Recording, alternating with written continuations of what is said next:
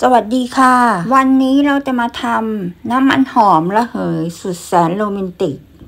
วัสดุที่ใช้ทำหาได้ไม่ยากเลยนะคะ เราจะใช้ของใช้ที่อยู่ในครัวทั้งหมดค่ะ เราจะไปทำกันเลยค่ะสะระแหน่ค่ะ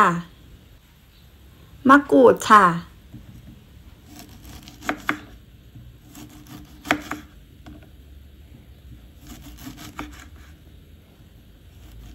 ภาชนะที่ใช้จะใช้แบบใดก็ได้นะคะ จะเป็นถ้วยเป็นแก้วได้หมดค่ะ เราจะใส่มะกรูดกับสะระแหน่ลงไปค่ะ แล้วก็เติมน้ำเปล่าลงไปค่ะ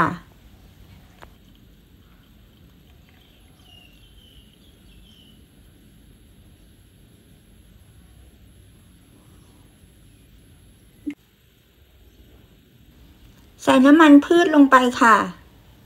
จะเป็นน้ำมันพืชยี่ห้อใดก็ได้นะคะ ในส่วนนี้เพื่อนๆจะใช้แก้วน้ำที่ไม่ใช้แล้วก็ได้นะคะ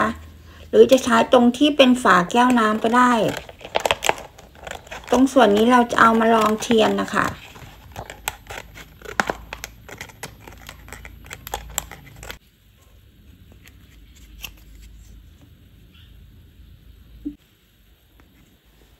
เจาะให้ได้รูตามแบบเลยนะคะ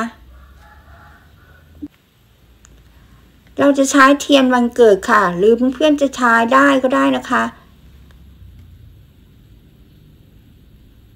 หรือจะใช้กระดาษทิชชู่ม้วนให้เป็นเส้นก็ได้ค่ะ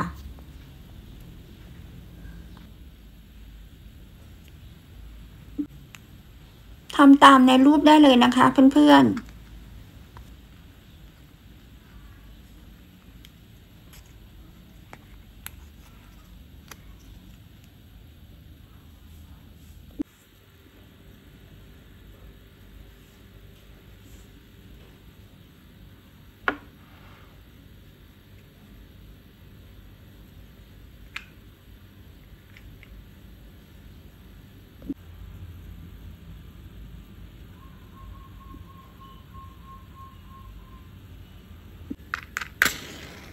จุดไฟได้เลยค่ะ พอจุดไฟได้สักพักหนึ่งเราจะได้กลิ่นความหอมของมะกรูด กับใบสะระแหน่ค่ะจะทำให้เรารู้สึกผ่อนคลายรู้สึกสดชื่น เพื่อนๆลองนำสูตรนี้ไปทำดูนะคะทำไว้ให้กับคนที่เรารักแล้วก็ตัวเราค่ะ เวลาที่เราทานข้าวตอนเย็นหรือเราดินเนอร์แล้วก็มาตั้งไว้บนโต๊ะอาหาร จะให้ความโรแมนติกให้ความรู้สึกสดชื่นผ่อนคลาย ให้บรรยากาศที่ดีในช่วงอาหารดินเนอร์ของเราหวังว่าคลิปนี้จะมีประโยชน์ไม่มากก็น้อยกับเพื่อนๆนะคะ ขอบพระคุณที่ติดตามรับชมและเป็นกำลังใจให้ค่ะ พบกันใหม่คลิปหน้านะคะสำหรับคลิปนี้ลาไปเพียงแค่นี้ สวัสดีค่ะ